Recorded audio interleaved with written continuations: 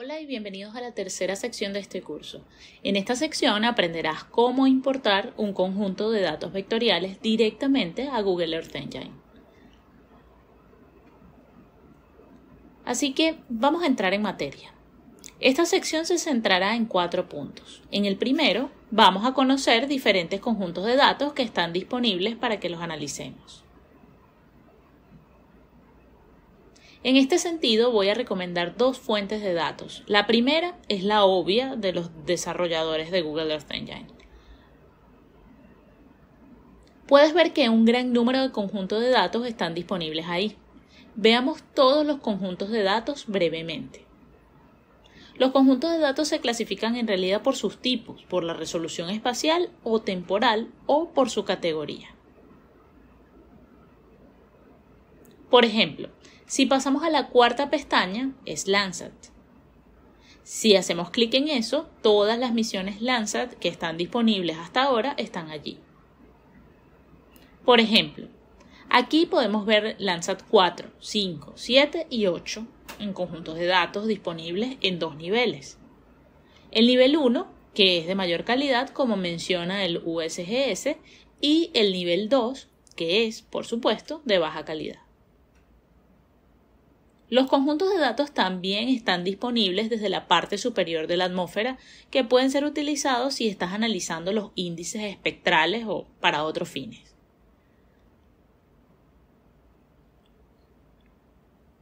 Además, es importante señalar que los conjuntos de datos de los Landsats 1 a 5 en forma de satélite multiespectral están disponibles.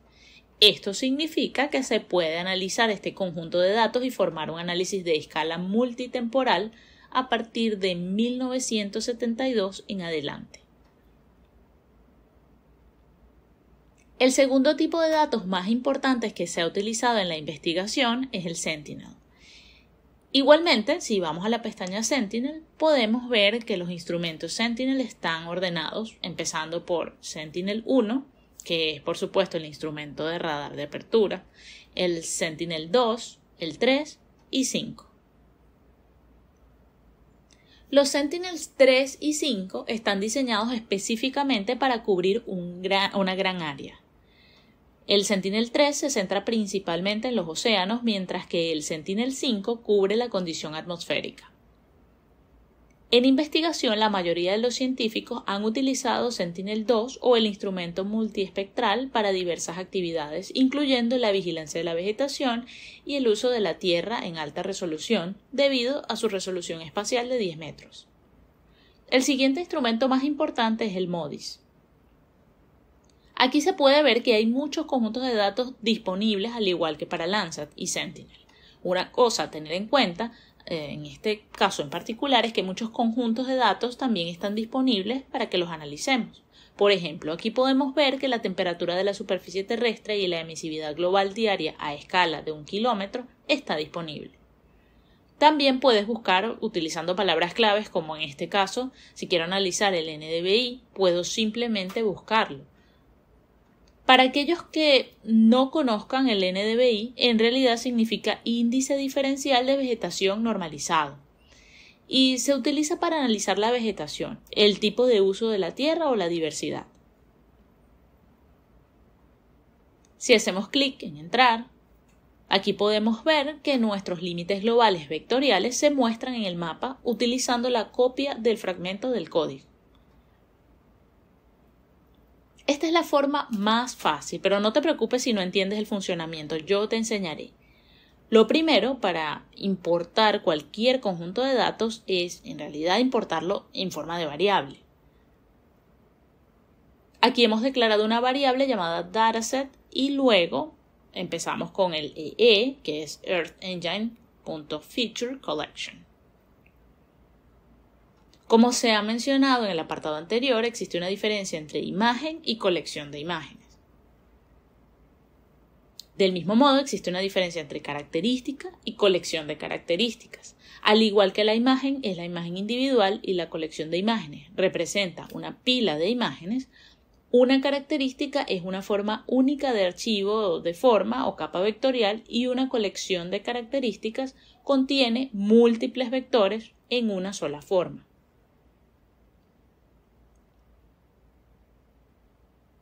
Aquí hemos importado una colección de características y nombrado a nuestra variable del conjunto de datos. Esto significa que siempre que necesitemos utilizar esta colección, la importaremos con este nombre.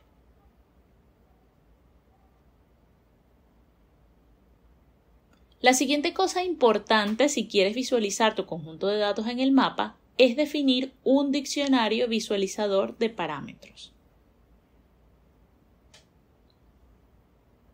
Al igual que aquí han establecido este diccionario,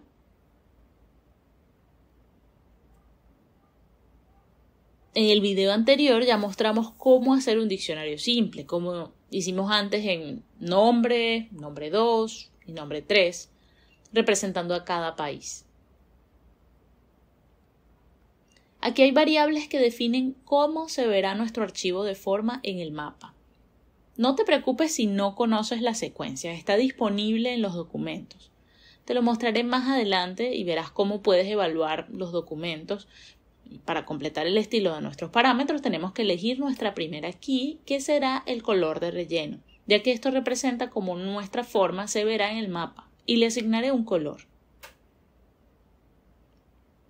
Este es el sitio web llamado htmlcolorcodes.com que te permite seleccionar cualquier color que desees y copiar su código. Aquí quiero visualizar mi archivo de forma con un tipo de azul, así que voy a elegir mi color deseado y luego seleccionar el código HTML.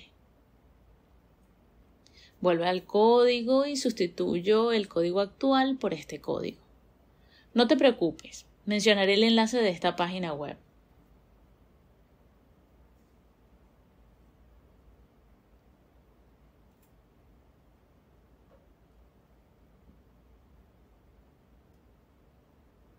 El siguiente parámetro eh, clave es el color. Puedes estar confundido con el fill color, que es el de relleno, y el color. El color de relleno o fill color es básicamente el color que estará dentro del polígono. En el mapa se muestra el verde, que es el color de relleno, y dejaremos el color de línea en blanco. No estableceremos el color de línea aún.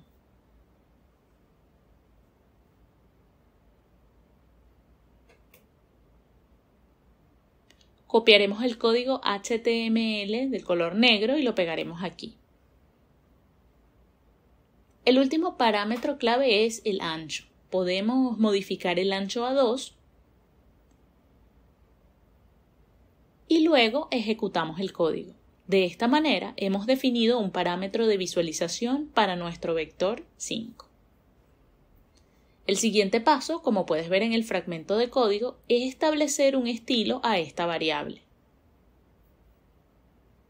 Ahora, ten en cuenta que en el caso del vector 5 tienes que establecer un estilo para que el vector 5 se vea en el mapa, pero en este caso puedes simplemente definir el estilo y añadirlo durante el proceso que te he mostrado antes. Lo mostraré de nuevo más tarde. Después de establecer el estilo, podemos añadir la capa al mapa. La función principal de mat.addLayer es mostrar lo que hayamos dibujado en el mapa, por lo que estamos trabajando con el conjunto de datos y lo mostraremos en el mapa. Cuando hagamos clic en ejecutar, se puede ver todo el archivo de forma que está mostrando el parámetro style requerido que hemos dicho antes, mostrando el color azul para el relleno y la anchura o la, la línea del borde se define con un color negro. La siguiente parte de esta sección es cómo podemos importar y visualizar cualquier conjunto de datos. Esto es igual que el conjunto de datos vectoriales y tendremos que buscar el conjunto de datos que queramos eh, por ejemplo, el NDVI que vimos anteriormente y el Landsat 8.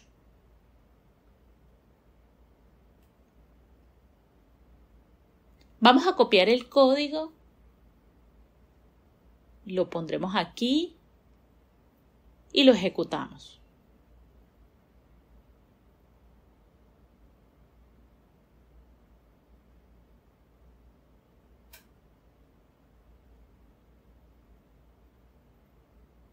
Puedes ver que nuestras dos capas están ahora en el mapa.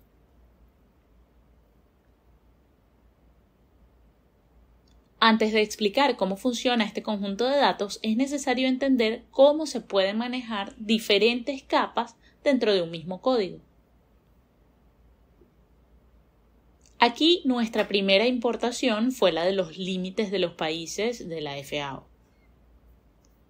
Así que en la sección de capas podemos ver que las fronteras de los países están en la parte inferior. Del mismo modo, para el conjunto de datos raster, en la capa está en la parte superior. Ahora, si importamos cualquier otro conjunto de datos, estará encima y el color, que es nuestro NDBI, estará en el medio. En este caso queremos cambiar los colores de este raster. Haremos clic en la configuración y aquí podemos ver una paleta predefinida. Vamos a ir con tres colores. El primero es el rojo, el segundo será el naranja y el tercero será el verde.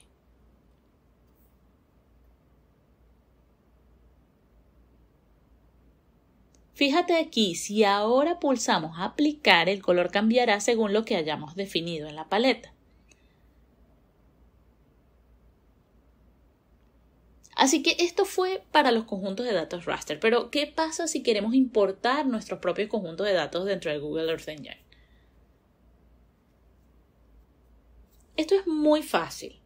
Por ejemplo, si queremos importar un archivo shape o de forma, iremos a Assets, hacemos clic en Nuevo y aquí puedes ver muchas opciones. En la primera opción podemos importar cualquier raster en forma de .tif. La segunda opción es para los archivos de forma. Podemos importar archivos de forma en dos métodos. El primero en forma de todas estas extensiones como .shp, .shx, dbf, prj o .zip. Para utilizar el segundo método tenemos que comprimir todos estos archivos de forma y cualquier otro en un archivo .zip y luego exportar. Por ejemplo, si queremos importar un archivo shape o de forma desde nuestro ordenador local, iremos a Nuevo, Archivo Shape y seleccionaremos el archivo de origen. Ahora, como he comentado anteriormente, tenemos dos opciones para importar un archivo .zip o extensiones con el archivo shape. Vamos a ir primero con la extensión. Buscaremos nuestro archivo de forma. Así que estos son nuestros archivos compartidos.